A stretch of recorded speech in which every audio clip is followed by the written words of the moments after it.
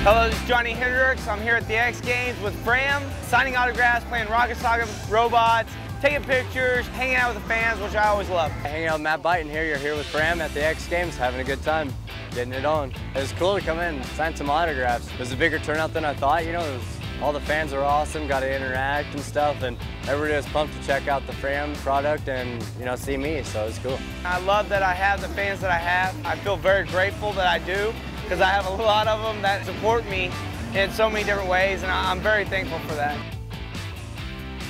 Favorite part about the X Games is that I've seen it on TV, but man, it's crazy. Look how high some of these jumps are. You know what I mean? And, and the things that they can do is pretty amazing. What I love most about the X Games is just the vibe, you know, it's just fun, you know, everyone just getting together and then some extreme stuff going down, you know, that's the main part of it. Enduro Cross is a really cool event the rally car and truck racing, and then, you know, the skateboarding, the technicality that those guys have, you know, it's incredible. And then just seeing the fans and interacting with the fans and just having fun. It's just all around good vibe. Do it right and follow Fram on Facebook, Twitter, and Instagram.